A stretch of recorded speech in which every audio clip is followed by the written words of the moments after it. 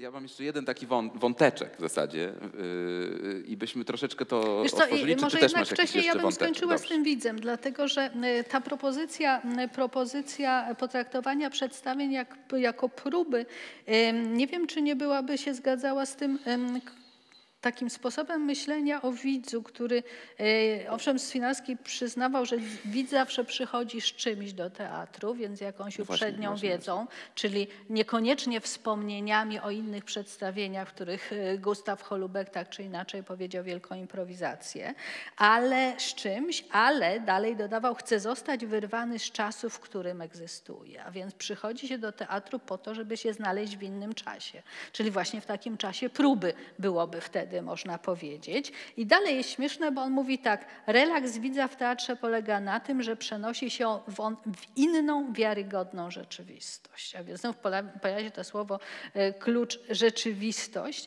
ale wiązane właśnie z relaksem, z przyjemnością. Czyli po raz kolejny, znaczy jak rozumiem, e, in, znalezienie się w innej rzeczywistości wiąże się z pewnym poznawczym wysiłkiem, a nie z konstatacją, że wszystko wiem i czuję się dobrze. Znaczy przyjemność czerpania z zadania do wykonania bardziej niż z mm, rozeznania się, że wszystko jest moje, wszystko wiem i, i wtedy, jest, wtedy jest e, świetnie. Gdzieś też to jest ten wątek pociągnięcia do odpowiedzialności widzów za to, co się dzieje. To jest chyba istotne, no bo e, wtedy, jeśli powiemy, że przychodzimy na próbę do teatru, to wtedy trudno pociągnąć nas do odpowiedzialności. Tak, to słowo zresztą jest ciekawe, Hmm. prawda? Bo, bo poddawanie się próbie jest zawsze takim rodzajem jednak lekkiego ryzyka i, i jeszcze raz bym chętnie powtórzył, że nie widzę powodu, żeby wyłączać widza z No chyba, żeby, żeby wprowadzić wtedy jednak takie wątki egzystencjalne typu e, Heinera Millera, który mówi Mhm. o tym, że widzowie, znaczy, że tak jak widzowie, tak aktorzy spędzając w teatrze wspólne dwie godziny, to są dwie godziny realnego czasu ich życia. Mhm. I wtedy to jest e, jednak trochę inne podejście. Znów wyłączamy z tego wystawianie jako pewną estetyczną, mm, estetyczne doświadczenie. Gdzieś mi się wydaje, że można tutaj u Swianowskiego odnaleźć takie wątki myślenia o teatrze w innym wymiarze niż estetycznym, poczynając od tego, że reżyseria nie jest metodą, że nie jest określonym zestawem środków, tylko środki służą czemuś innemu. Literatura służy czemuś innemu, że nie obchodzi go, co myśli aktor na temat tekstu czy literatury, ale co myśli na temat życia. Że mm, jakby jest to przeciwko właśnie takiemu wyodrębnieniu doświadczenia estetycznego jako czegoś, co się z życiem nie wiąże, czegoś, co jest specyficzne, znaczy ubieramy się ładnie, idziemy do teatru, biorąc udział w pewnej e, czynności, jeszcze dodatkowo e, instytucjonalnie zagwarantowanej, wtedy stajemy się lepsi, mm, jakby e, dopełniamy pewną określoną ceremonią, natomiast to tak naprawdę nie ma nic wspólnego z życiem. Znaczy mnie to trochę przypomina lekcje etyki w szkole. To znaczy uczymy się o tym, y, jacy byli etycy, jakie były teorie etyczne, natomiast to się w żaden sposób nie przekłada na to, co robimy czy przed lekcją, czy po lekcji, albo w trakcie, jak pani, y, pani nauczycielka nie widzi. Nie no, to jest, mi się, mi się to też kojarzy trochę z taką żywotnością ry, rytuału, to znaczy, prawda, rytuał jest y, wtedy skuteczny, kiedy jest w miarę niezmienny.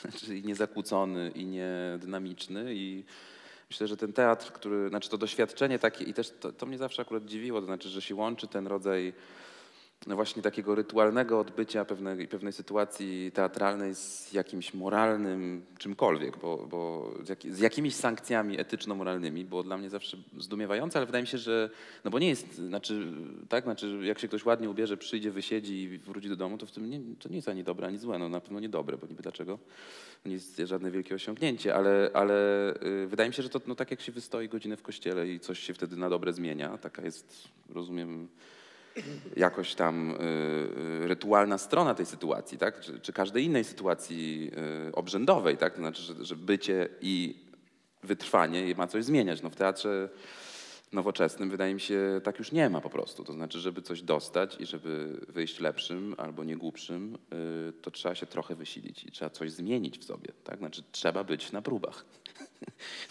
trzeba przyjść na próbę, nie przyjść na rytuał, tylko przyjść na coś, co jest jednak także próbą naszych języków, naszej wrażliwości.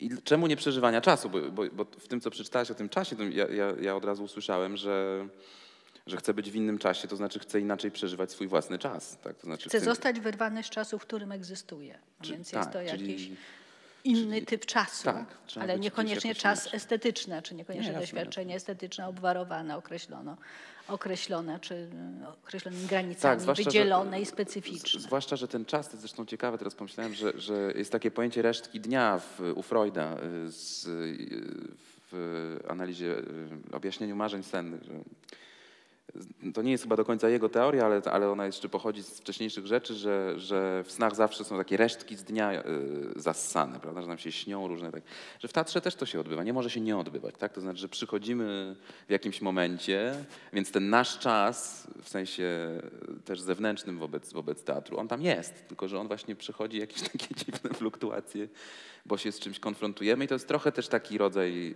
y, nowego, nowej konfiguracji tych rzeczy, prawda? To znaczy, że, że to, w czym akurat jesteśmy, to, czym, czym akurat żyjemy i co akurat przeżywamy, mniej lub bardziej świadomie, że to też jest do tego spektaklu zasysane i jakoś podchodzi E, pod te wszystkie operacje. E, mogę e, tak, ten tak, tak, wąteczek?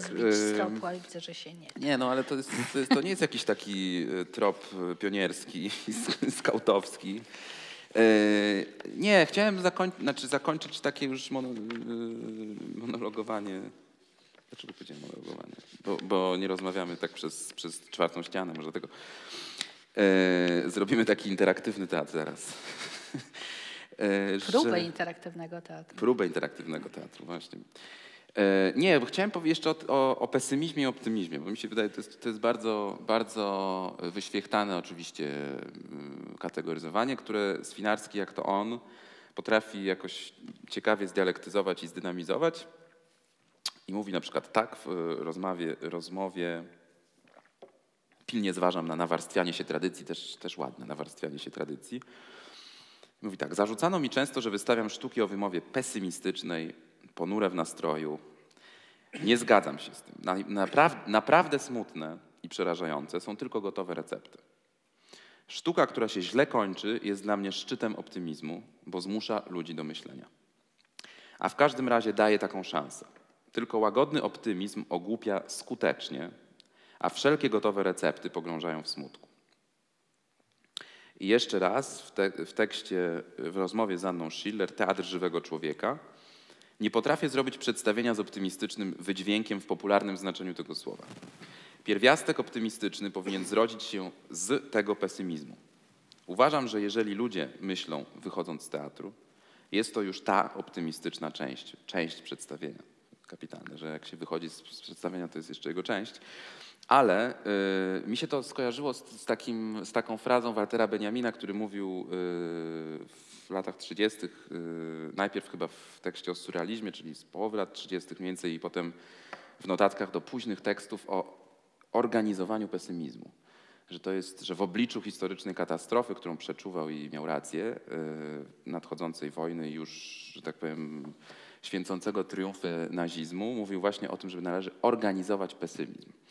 I mi się wydaje, że to jest też bardzo swinarskie, w tym sensie, że, że teatr nie jest po to, żeby dawać łatwe pocieszenie, bo to, bo to jest zawsze y, rodzaj, jak on mówi, ogłupiania i nie traktowania ludzi poważnie, też, też widzów właśnie, tylko że ma robić, ma w, z całym pesymizmem i z całą świadomością tego pesymizmu jeszcze dawać trochę przestrzeni na myślenie i to jest nadzieja. Wydaje mi się, że to jest bardzo bardzo ciekawe myślenie o, o, tym takim powiedzmy pozytywnym wydźwięku teatru na dziś, który, który jest z jednej strony właśnie wpisany w te wszystkie granty, ma, być, ma być jednak kolorowo i twórczo i tak dalej, ale że to jest, że, to, że, że innymi słowy, że, że, że nie ma żadnego optymizmu, nie ma żadnej nadziei bez tego, jak się naprawdę wymierzy i poorganizuje i yy, i poogląda te, ten pesymizm i beznadzieję i rozpacz i różne takie rzeczy, o których mówił Benjamin. I kto wie, może to jest, to jest też ciekawe, e, do jakiego stopnia współczesny teatr się takim rozpaczliwym tonem posługuje, jak, czy to jest jego jakiś radar, tak